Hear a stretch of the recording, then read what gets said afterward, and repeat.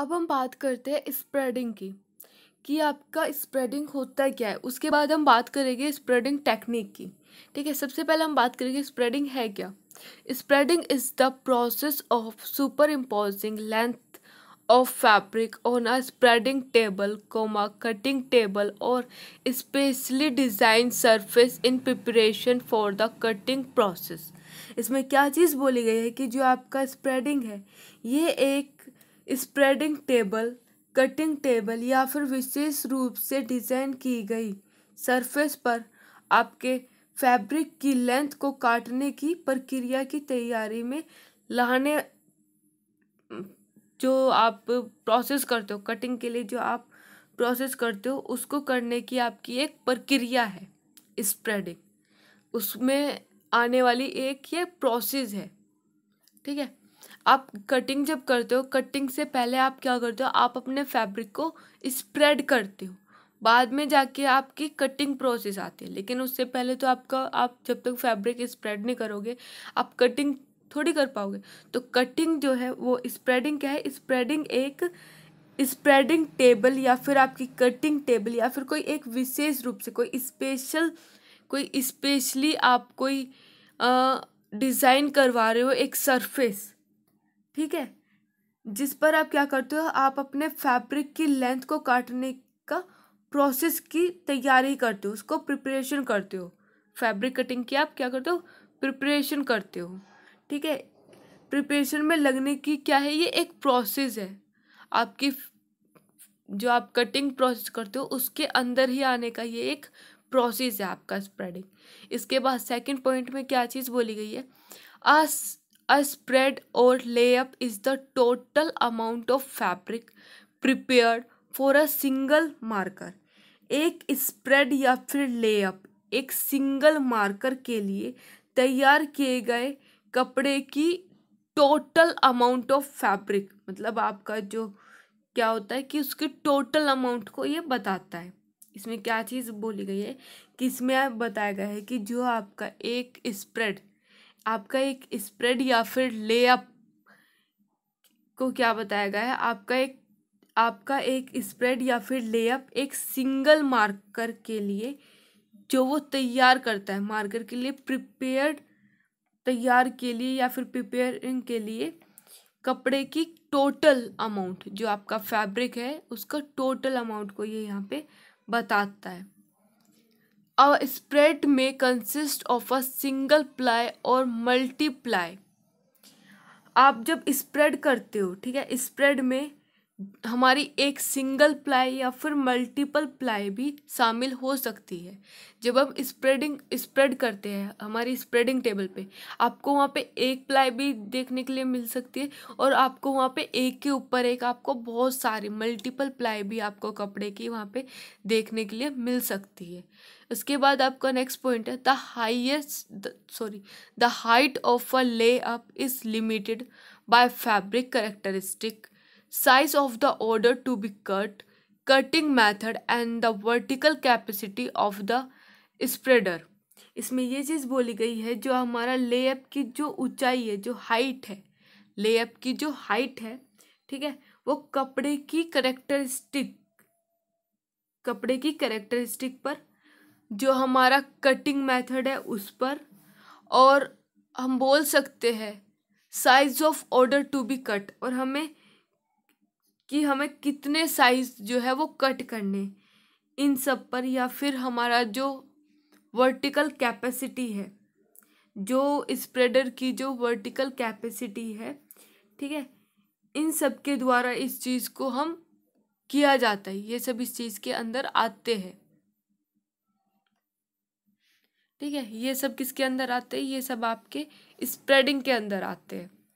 कि इसमें ये चीज़ बोली गई है the height of the layup is limited by fabric characteristic size of the order to be cut cutting method and the vertical capacity of the spreader इसमें ये चीज़ बोली गई है कि जो आपका लेअप की जो हाइट है, वो कपड़े की करेक्टरिस्टिक काटने की जो सीरीज़ है आपकी, ठीक है? जो आपका साइज़ है size of order to be cut कि आप जो काटने के क्रम के आकार, कि आप कितने साइज़ में उसको कट करोगे?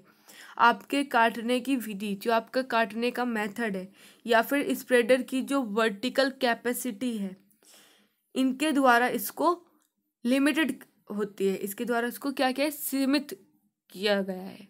ठीक है? इसके बाद है आपका last point the number of ply in a spread में रेंज फ्रॉम वन से लेके थ्री हंड्रेड तक का। अगर हम नंबर ऑफ़ प्लाई की बात करें, ठीक है, एक स्प्रेड में प्लाई की जो संख्या है, वो एक से लेके तीन सौ रेंज के बीच में हो सकती है कि जो हम स्प्रेड करते हैं अपनी जो स्प्रेडिंग टेबल पे जो हम अपने फैब्रिक को जो स्प्रेड करते हैं, वो एक से लेके वो आपके तीन सौ तक का आपको उसमें प्लाई देखने के लिए मिल सकती है स्प्रेडिंग में। ठीक है, ये तो था कि हमारी जो स्प्रेडिंग है स्प्रेडिंग है क्या? स्प्रेडिंग जो है, ये आपका प्रोसेस होता है, जो आपके कटिंग प्रोस जब आप कटिंग करते हो, ये उसी के लिए, उसी को करने के लिए या आप पहले स्प्रेडिंग करते हो, या आप स्प्रेडिंग टेबल पे कर सकते हो कटिंग टेबल पे कर सकते हो, या फिर आप इसको किसी भी स्पेशल डिज़ाइन किया हुआ जो आपका सरफेस है वहाँ पे आप ये प्रोसेस करके देख सकते हो, ठीक है? उसके बाद बोला गया था कि ये जो आपका, ये जो आपका स्प्रेड जो आप करते हो, इसमें आप सिंगल प्लाई पर भी स्प्रेड कर सकते हो, इसको मल्टीप्लाई में भी स्प्रेड किया जा सकता है। और इसमें आपकी जो प्लाई होती है, वो एक से लेके तीन सौ तक की बीच की आपकी प्लाई की इसमें संख्या होती है, ठीक है? ये था आपका स्प्रेडिंग अब हम बात करते हैं कि जो आपका स्प्रेडिंग मोड है, ठीक है? आप उसको किस तरीके से करते हो। इसमें बोला गया है a spreading mode is the manner in which fabric ply are laid out for cutting इसमें क्या चीज़ बोली गई है कि जो आपका फैब्रिक स्प्रेडिंग मोड है, ठीक है, ये जो आपका स्प्रेडिंग मोड है, ये एक तरीका है, ठीक है, जिसमें कपड़े काटने के लिए कपड़े की जो परत होती है, जो प्लाई होती है फैब्रिक की, उसको बिछाया जाता है। ठीक है? ये आपका एक स्प्रेडिंग का, ये आपका एक तरीका है, ठीक है? जिसमें आपके कपड़े काटने के लिए कपड़े की जो परत है, उसको आप बिछाते हो। Two fabric characteristic that determine the spreading mode are दो फैब्रिक की करेक्टरिस्टिक है, होती है जो आपके स्प्रेडिंग मोड को क्या करती है? डिटरमाइन करती है। जिसमें सबसे पहला है आपका the direction of fabric face आप क्या करते हो? सबसे पहले आप कपड़े के चेहरे की दिशा को देखते हो कि कपड़े की जो फेस है, ठीक है? आप कपड़े के फेस को देख के उसको डायरेक्ट, उसको फिर रखते हो, उस डायरेक्शन में रखते हो कि आपको, आपका जो फैब्रिक है, आपको किस डायरेक्शन में रखना है। सेकंड है आपका the direction of fabric nap. उसके बाद आप जो कपड़े की जो झपकी होती है, आप उसको देख के आप उसको रखते हो कि आपको आपका जो फैब्रिक है, आपको किस डायरेक्शन में रखना है। ये आपको यहाँ पर डायग्राम में दिया गया है कि आप इसको दो तरीके से रखते हो आप अपने फैब्रिक को। जहाँ पे आपका एफ़ ओ डब्ल्यू जो लिखा हुआ है, सबसे ऊपर जो ये लिखा हुआ है, वो आपका फैब्रिक का फेस के, कि आपका जो फैब्रिक का जो चेहरा है, आप उसको देख के अपना फैब्रिक किस तरीके से रखते हो, ठीक है? सबसे पहले उसमें दिखाया गया है कि F O W facing one way आपका जो फैब्रिक है, आप उसको कैसे रखते हो? फेसिंग वन वे में रखते हो। और दूसरा जो है आपका, आप कैसे रखते हो कि N O W napped one way आप उसको क्या करते हो? नैप्ड वन में वे में आपने पढ़ा था, आप उसको डाउन डायरेक्शन में रखते हो, ठीक है? सेकंड इसी तरीके से आपका F O W facing one way में रखते हो, ठीक है? एन यू डी जिसमें आपने क्या पढ़ा था कि जो आपका नैप अप एंड डाउन, कि आप जो आपका फैब्रिक है, आप उसको क्या करते हो? आप उसको अपोजिट डायरेक्शन में रखते हो। जो आपके अल्टरनेटिव जो साइज़ होते हैं, आप उनको उससे क्या करते हो? अपोजिट डायरेक्शन में रखते हो। सेम इसी तरीके से आपका थर्ड है। F F face to face जो आप रखते हो, आपका जो फैब्रिक है, जैसे आपको इसमें दिखाया गया है कि आपका जो फैब्रिक है, उसको क्या किया गया है? फेस टू फेस उसमें रखा गया है। आमने सामने रखा गया है। ठीक है?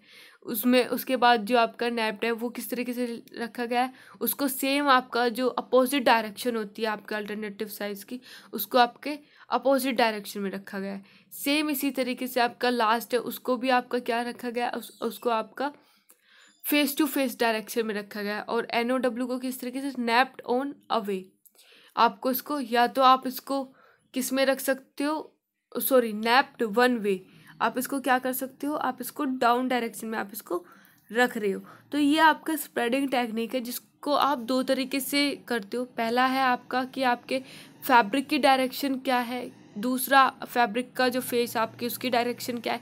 दूसरा जो आपके फैब्रिक की नैप है, आपकी, उसकी डायरेक्शन क्या है? आप इन दोनों को देख के आप अपने फैब्रिक को स्प्रेड करते हो। अब हम बात करते हैं कि आप लोगों का जो स्प्रेडिंग टेक्निक है, जो आपका स्प्रेडिंग मोड है, वो आपका कितने पार्ट्स में डिवाइड है? आपका जो स्प्रेडिंग मोड है, इसको चार पार्ट में डिवाइड किया गया है।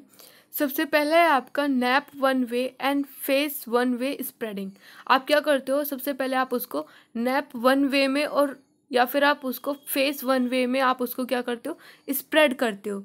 उसके बाद सेकंड है आपका nap either way and face to face spreading second में क्या करते हो आप? आप उसको नैप आइदर वे में या फिर आप उसको फेस टू फेस उसमें आप क्या करते हो? उसको स्प्रेड कर देते हो।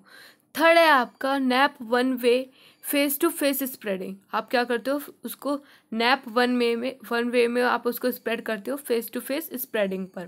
ठीक है? फोर्थ है आपका नैप आइदर वे या फिर फेस वन वे स्प्रेडिंग ये आपके चार मेथड है, चार आपकी टेक्निक है। जब आप कोई भी फैब्रिक आप स्प्रेड करते हो स्प्रेडिंग टेबल पे तो आप इन चार मेथड का यूज़ करके आप अपना जो आपका फैब्रिक होता है, इन टेक्निक्स से आप अपना फैब्रिक को स्प्रेड करते हो। एक स्प्रेडिंग टेबल पे। ठीक है? अब हम बात करते हैं सबसे फ़र्स्ट वन की स्टार्टिंग से लेके चलेंगे कि आपका नैप वन वे और आपका ये फेस वन वे स्प्रेडिंग क्या होता है, इस तरीके से हम चारों के बारे में बात करेंगे। तो आइए स्टार्ट करते हैं। अब हम बात करते हैं अपने सबसे पहले मेथड की, सबसे पहले मोड की स्प्रेडिंग टेक्निक में किस तरीके से वो करी जाती है। इसमें सबसे पहले दिया गया है आपका मैं nap one way and face one way spreading कि आपका नैप वन वे और फेस वन वे स्प्रेडिंग होती क्या है? Most common spreading method that can also be done manually इसमें क्या बताया गया है कि सबसे आम स्प्रेडिंग मैथड जिसे आप मैनुअली रूप से किया जाता है। आपका जो ये नैप वन वे और जो आपका फेस वन वे स्प्रेडिंग जो है, ये आपका सबसे ज़्यादा मोस्ट कॉमन स्प्रेडिंग मेथड है, जो आपका मैनुअली किया जाता है। ये आपका हाथ से किया जाता है, ठीक है? हाथ से किया जाने वाला ये सबसे मोस्ट कॉमन स्प्रेडिंग मेथड है। इसके बाद हम बात करते हैं सेकंड पॉइंट की। Fabric roll is kept on a roller stand and fabric end is bring pulled by two spreading operator. Thus unwinding fabric from feeling rotating roll walking along both side of cutting table इसमें क्या चीज़ बोली गई है कि कपड़े के role को रोलर स्टैंड पर रखा जाता है कि जो आपका फैब्रिक रोल है, इसको आप किस पे रखते हो? आप इसको रोलर स्टैंड पे आप इसको रखते हो।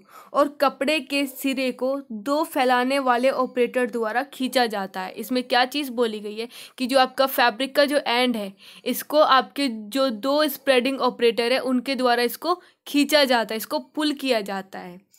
ठीक है? उसके बाद क्या बोला गया है? Walking along both side of the cutting table इसमें बोला गया है कि जो काटने की मेज के दोनों किनारों पर ये चलता है, जो आपका कटिंग टेबल है, इसके ये दोनों साइड पे आप इसको लेके चलते हो, ठीक है? इसके बाद है हमारा third point while using machine the loose end of the fabric is bring held by catcher and machine carried carries the roll along table does unwinding and spreading the table is the process इसमें क्या बोला गया है कि machine का जो use है, machine का यूज़ करते समय कपड़े के जो ढीले सिरे हैं, जो आपके फैब्रिक का, आप मशीन का जब यूज़ करते हो, जो आपके फैब्रिक का जो लूज़ एंड है, ठीक है? लूज़ एंड को पकड़ने वाला जो है उसको पकड़ता है, जो कैचर है, वो आपके इन लूज जो एंड है, उनको क्या करता है, वो पकड़ता है और मशीन रोल को टेबल के साथ ले जाता है और जो आपकी मशीन है मशीन जो आपके रोल है, उनको क्या करता है, वो मशीन टेबल के साथ वो उसको लेके जाता है और इस प्रक्रिया में कपड़े को खोलता है और फैलाता है। इसी प्रक्रिया में क्या करता है, जो आपका फैब्रिक है, उसको खोलता चला जाता है और जो आपका फैब्रिक है, उसको टेबल पे वो स्प्रेड करता चला जाता है। तो इसमें क्या चीज़ बताई गई है कि आपकी जो मशीन है, ठीक है?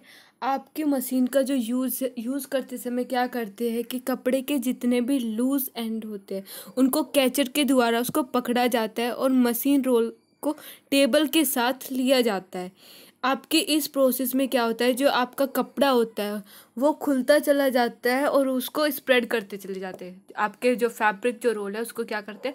उसको फैलाते जाते मतलब उसको खोलते चले जाते और उसको स्प्रेड करते चले जाते हैं। इसके बाद लास्ट पॉइंट में बताया गया है कि every layer has to start from same end does spreading machine has to come back to start position without spreading the fabric इसमें ये चीज़ बोली गई है कि आपके फैब्रिक की जितनी भी परत है, उनको एक ही एंड से उसको क्या किया जाता है, उसको स्टार्ट किया जाता है। और इस प्रकार से क्या होता है, जो आपकी जो मशीन है, उसको वापस से आके, उससे वापस से आके उसी पॉइंट से उसको स्टार्ट करना पड़ता है, जिससे उसने स्टार्ट किया था। ठीक है, आपकी इस मशीन में ये, आपका ये जो प्रोसेस है, इसमें ये चीज़ बताई गई है कि जितने भी आपकी फैब्रिक की जितनी भी परत है, वो एक ही पॉइंट से उसको स्टार्ट किया जाता है। ऐसा नहीं है कि आपने उसको फैला दिया और फिर आप वहाँ से वापस से उसको फैलाने, नहीं।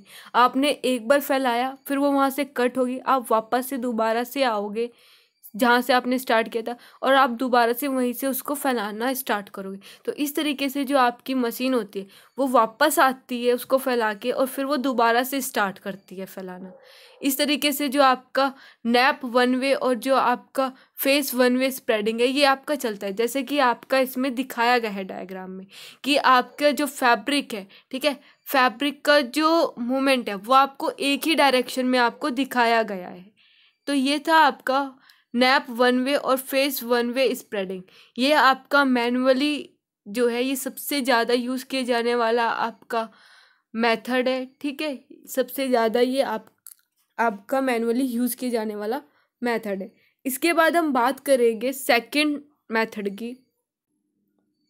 हमारा second method nap either way and face to face spreading ठीक है? अब हम इसमें क्या करते हैं कि इसको किस तरीके से किया जाता है?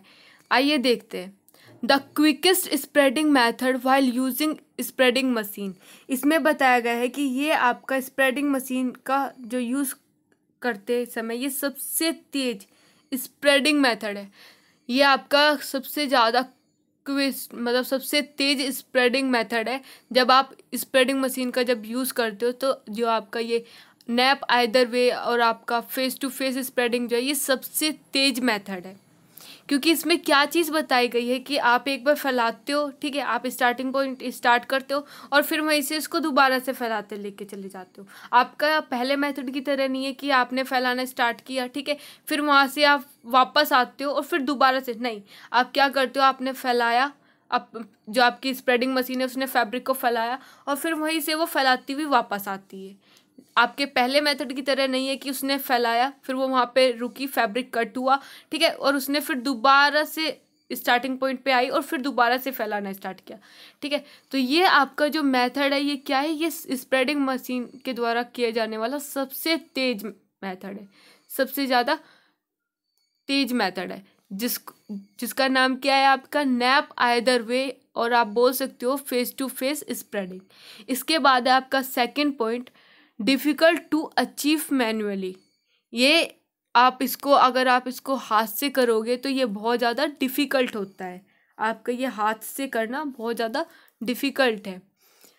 आपका थर्ड पॉइंट है the machine carry the fabric roll while the end is bring held in place by catcher at the layer and fabric is not cut just folded and held by another catcher while the fabric is bring held by the machine during its return movement also इसमें क्या चीज़ बोली गई है कि machine fabric roll को carry करती है, जबकि एंड को कैचर द्वारा रखा जाता है। जो आपका जो फैब्रिक है, उसको कौन पकड़ता है? उसके जो एंड है, वो कैचर के द्वारा वो पकड़े जाते हैं। लेयर एंड पर फैब्रिक को सिर्फ़ फोल्ड करके या फिर दूसरे कैचर द्वारा नहीं काटा जाता।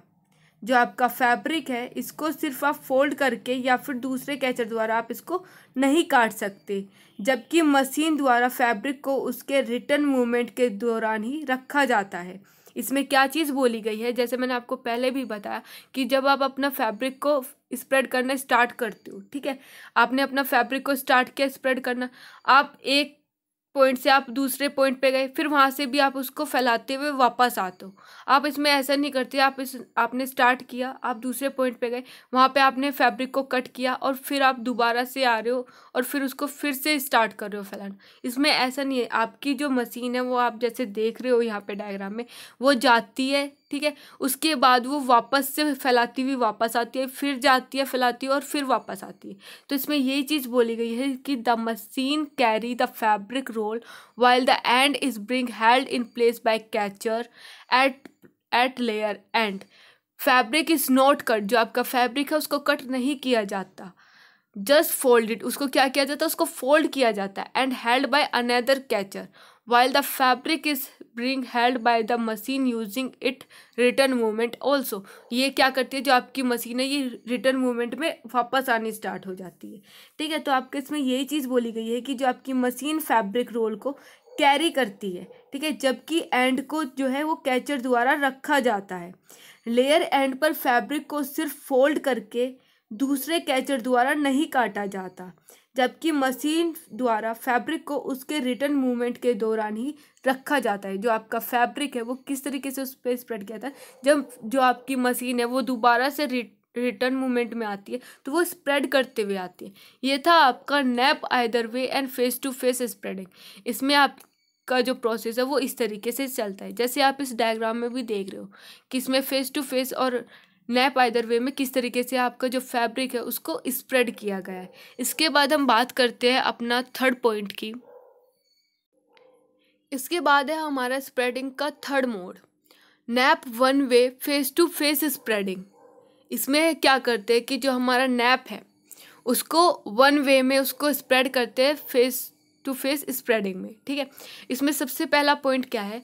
Most time consuming method of spreading ये सबसे ज़्यादा कंज्यूमिंग टाइम मतलब सबसे ज़्यादा टाइम कंज्यूमिंग मेथड है हमारी स्प्रेडिंग का। इससे पहले जो आपने पढ़ा था, वो मेथड आपका स्प्रेडिंग मशीन के द्वारा किए जाने वाला सबसे ज़्यादा तेज मेथड था। लेकिन nap one way face to face spreading क्या है? ये आपका सबसे ज़्यादा टाइम कंज्यूम करने वाला मेथड है। इसमें आपका सबसे ज़्यादा टाइम लगता है। ठीक है? इसके बाद है आपका second point the loss end the loose end of fabric is bring held by by catcher and machine carries the roll along table does unwinding the spreading the fabric is the process इसमें क्या चीज़ बोली गई है कि कपड़े के जो लूज एंड है, उसको पकड़ने वाला, उसको पकड़ता है, जो कैचर है, वो उसके द्वारा जो फैब्रिक है, आपका फैब्रिक के जो लूज एंड है, वो उस कैचर के द्वारा उसको पकड़े जाते हैं और मशीन रोल को टेबल के साथ रखा जाता है। जो आपकी मशीन रोल है, उसको किसके साथ रखा जाता है? टेबल के साथ आप उसको रखते हो और इसी तरह कपड़े को खोलती है। जो आपकी मशीन है, वो क्या करती जाती है? आपके कपड़े को वो खोलती चली जाती है और उसको इसी प्रक्रिया में उसको फैलाती चली जाती है। इसके बाद क्या चीज़ बोली गई है? The layer and the fabric is bring cut the layer and the fabric is bring cut turn turnable, rotate the fabric roll by 180 degree and return back to starting point without. इसमें क्या चीज़ बोली गई है कि जो आपकी जो लेयर है, ठीक है? आपके लेयर के अंत में कपड़ा काटा जाता है। जो आपकी लेयर का जो एंड है, उसमें क्या किया जाता है? फैब्रिक को काटा जाता है। टर्न टेबल कपड़े के रोल को 180 डिग्री तक घुमाती है। जो आपकी टर्न टेबल है, वो कपड़े के रोल को क्या करती है, वो 180 डिग्री तक उसको घुमाती है। बिना स्टार्टिंग पॉइंट के, वो वापस आ जाती है। ठीक है? इसमें क्या चीज़ बोली गई है कि and return back to starting point without बिना स्टार्टिंग पॉइंट के वो क्या करती है, वो वापस आ जाती है। ठीक है, इसमें ये चीज़ बोली गई है कि जो आपका जो आपके फैब्रिक के जो पर्थ है, जो आपकी लेयर है फैब्रिक की, उसके अंत में क्या किया जाता है, आपके फैब्रिक को काटा जाता है कि आपने एक स्टार्टिंग पॉइंट से स्टार्ट किया और आप जब दूसरे पॉइंट पे गए तो वहाँ पे क्या गया, आपके फैब्रिक को कट कर दिया गया। ठीक है, उसके बाद turnable rotate the fabric roll by 180 degree उसके बाद जो आपका फैब्रिक है, जो टर्न टेबल है वो कपड़े के रोल को 180 डिग्री पर घुमाती है और उसके बाद बिना शुरुआती स्थिति के, स्थिति में वो वापस आ जाती a layer and the fabric is bring cut turnable rotate the fabric roll by 180 degree and return back to start position without इसमें क्या चीज़ बोली गई है कि जो आपके फैब्रिक की जो लेयर है, ठीक है? परत के अंत मतलब जो आपके फैब्रिक की लेयर का जो एंड है, ठीक है, उस पर आपके फैब्रिक को किया जाता है, उसको काटा जाता है। और जो आपकी टर्न टेबल है, वो आपके फैब्रिक रोल को क्या करती है, वो वन एट्टी उसको रोटेट कर देती है। और इसके बाद क्या बोला गया है कि return back to starting point without और बिना स्टार्टिंग पॉइंट के, बिना आपके स्टार्टिंग पोजीशन के, वो क्या करते हो, वो वापस आ जाती है। ठीक है? तो ये चीज़ इसमें बोली गई है कि जो आपका फैब्रिक है, उसको क्या करते हैं, जो आपकी फैब्रिक का जो लेयर है, उसको 180 डिग्री पे उसको रोटेट किया जाता है, जो आपका फैब्रिक रोल है, ठीक है? और ये बिना स्टार्टिंग पोजीशन के ये वापस आ जाती है। उसके बाद क्या चीज़ बोली गई है कि now from the starting end the second layer is bring head face to face अब जो आपके स्टार्टिंग पॉइंट जो था अब इसमें क्या चीज़ बोली गई है कि आपके स्टार्टिंग एंड आपके स्टार्टिंग एंड से आपकी जो सेकंड लेयर है, वो आपके फेस टू फेस रखी जाती है। उसको क्या करते हैं? उसको आमने सामने उसको रखते हैं। आपकी जो स्टार्टिंग एंड है, ठीक है? आपकी स्टार्टिंग एंड से आपकी जो सेकंड लेयर जो होती है, उसको आमने सामने उसको फेस टू फेस रखते हैं। ठीक है? आपकी इसमें क्या चीज़ बोली गई थी कि जो आपकी फैब्रिक की जो लेयर है, ठीक है? फैब्रिक की लेयर को क्या करते हैं, उसके एंड को हम कट कर देते हैं। फैब्रिक की लेयर के एंड को कट कर दिया जाता है और उसको टर्न टेबल पर क्या करते हैं, जो आपका फैब्रिक का जो रोल है, उसको 180 डिग्री पर आप लोग घुमाते हो, उसको रोटेट करते हो और बिना स्टार्टिंग पोजीशन के उसको वापस लेके आते हो। ठीक है? इसमें यही चीज़ बोली गई है कि आप क्या किया जाता है, इसमें आपका जो फैब्रिक है, उसको आपने स्टार्ट किया स्प्रेड करना, उसको वहाँ पे कट नहीं करते, आप उसको 180 डिग्री पे उसको घुमाते हो और उसको वापस लेके आते हो। तो जो आपका स्टार्टिंग पॉइंट है, ठीक है? आपका स्टार्टिंग एंड और जो आपका सेकेंड लेयर है, वो क्या आती है? वो फेस टू फेस आ जाती है, एक दूसरे के आमने सामने रखी जाती है। तो ये था आपका कि आपकी स्प्रेडिंग टेबल हो स्प्रेडिंग टेबल का आपका third method nap one way face to face spreading ये आपका सबसे ज़्यादा टाइम कंज्यूमिंग मेथड होता है। ठीक है, इसमें ये क्यों होता है? क्योंकि इसमें आपके जो फैब्रिक होता है, आपके फैब्रिक का जो लूज एंड है, उसको पकड़ने के लिए आप क्या करते हो? वो कैचर के द्वारा वो पकड़ा जाता है। जो आपके फैब्रिक का जो लूज एंड है, उसको कैचर के द्वारा वो पकड़ा जाता है। और मशीन रोल को टेबल के साथ चलाते हैं। जो आपका मशीन रोल है, उसको आपके टेबल के साथ वो चलता रहता है। और इसी तरह क्या करता है, वो आपके फैब्रिक को खोलता चला जाता है और उसको आपकी जो स्प्रेडिंग टेबल वो है, उस पर वो फैलाता चला जाता है। ये था आपका कि ये ये वाला जो मेथड है, ये वाला मेथड आपका सबसे ज़्यादा टाइम कंज्यूमिंग मेथड होता है। इसके बाद हम सबसे लास्ट मेथड के बारे में बात करेंगे। इसके बाद आता है हमारा सबसे लास्ट मेथड। ठीक है? जिसका नाम है nap either way and faced one way spreading, कि आपका जो सबसे लास्ट मेथड है, नैप आइदर वे। आपने नैप आइदर वे में पहले क्या चीज़ पढ़ी थी कि आपका नैप आइदर वे में क्या था कि जो आपका फैब्रिक है, आप उसको अपोजिट डायरेक्शन में करते हो। आपने ये चीज़ पढ़ी थी ना कि मार्कर मोड में कि आप किस तरीके से फैब्रिक को आप स्प्रेड करते हो, किस तरीके से उसको रखते हो। सेम चीज़ यहाँ पर है कि nap either way and face one way spreading अब इसमें आप देखते हो आपके दो पॉइंट दिए हुए इसमें देखते हैं कि क्या क्या चीज़ बोली गई है। सबसे पहला पॉइंट है आपका the loose end of the fabric is bring held by by catcher and machine carry the roll along turn does unwinding the spreading the fabric in the process इसमें क्या चीज़ बोली गई है कि जो आपके, जो फैब्रिक के, जो आपके लूज एंड है, उसको कैचर के द्वारा उसको पकड़ा जाता है और मशीन रोल को टेबल के साथ चलाते हैं। जो आपकी मशीन है, जो आपकी मशीन रोल है, जिसमें आपका फैब्रिक रखा जाता है, उसको टेबल के साथ आप क्या करते हो? चलाते हो। और इसी तरह कपड़ा जो है, वो आपका खोलती चली जाती है और उसको क्या करते हैं? वो उस स्प्रेडिंग टेबल पे वो उसको फैलाती चली जाती है।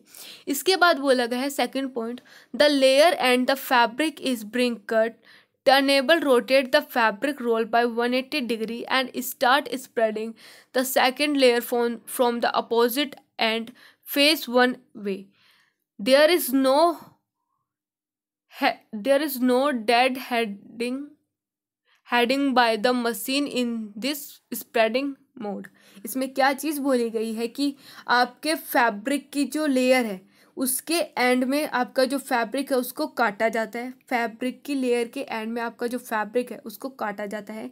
और आपकी टर्न टेबल जो है, वो कपड़े के रोल को 180 डिग्री पर घुमाती है।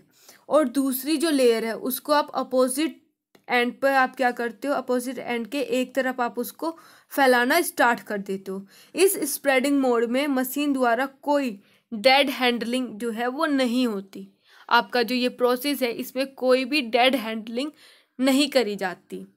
ये जो आपकी स्प्रेडिंग मोड है, इसमें आपका कोई भी डेड हैंडलिंग नहीं करी जाती। तो इसमें यही चीज़ बोली गई है कि इसमें क्या चीज़ बोली गई है कि जो आपका फैब्रिक है, ठीक है? आपके फैब्रिक की जो लेयर है लेयर के एक एंड पर आपके फैब्रिक के एक एंड पर क्या करते हो? आप अपना फैब्रिक को कट कर देते हो। फैब्रिक की लेयर के एंड पे आप फैब्रिक को कट कर देते हो। और जो आपकी टर्न टेबल है, वो कपड़े के रोल को क्या करती है? वो 180 डिग्री पर उसे घुमाती है और दूसरी लेयर को उसके अपोजिट एंड की तरफ़ वो उसको फैलाना स्टार्ट कर देती है। और इस स्प्रेडिंग मोड में क्या होता है? जो मशीन द्वारा मशीन द्वारा आपका कोई भी डेड हेडिंग जो है आपको नहीं मिलता। जैसे कि आप यहाँ पे इस, इस फिगर में आप देख रहे हो जिस जो आपको फिगर दिखाई गई है कि आपका जो फैब्रिक है आपने उसको स्प्रेड किया आपका एक तरफ़ आपका दूसरा मतलब आपके जो फैब्रिक है वो एक दूसरे के अपोजिट वो स्प्रेड किए गए हैं ठीक है? तो इसी तरीके से जो आपका नैप आइदर वे है इसमें क्या होता है जो आपका फैब्रिक है वो आपका अपोजिट डायरेक्शन में आप उसको फैलाते हो। तो ये थे आपके चार मेथड कि आप किस किस तरीके से आप स्प्रेडिंग टेक्निक कर सकते हो। इससे नेक्स्ट पार्ट में हम लोग बात करेंगे कि आपका सीमेंट्री और एसीमेंट्री ऑफ़ फैब्रिक होता क्या है। सीमेंट्री मतलब होता है कि जो फैब्रिक आपका एक जैसा होता है सिमिलर होता है। आपका एक पार्ट आपके दूसरे पार्ट की एग्जैक्ट कॉपी होता है, उसको एग्जैक्ट रिप्लिका भी बोल सकते हो। और एसिमेंट्रिक वो होता है जो आपका एक साइड का फैब्रिक आपके दूसरे साइड के फैब्रिक से क्या होता है, वो थोड़ा सा डिफरेंट होता है। उसका डिज़ाइन उसका टेक्सचर में थोड़ा सा आपको यू मतलब आप बोल सकते हो थोड़ा सा डिफरेंस आपको उसमें देखने के लिए मिलता है। तो इसके बाद हम यही चीज़ बात करेंगे कि जो आपकी सीमेंट्री और एसीमेंट्री ऑफ़ फैब्रिक और गारमेंट आपको किस तरीके से आप देखते हो। Thank you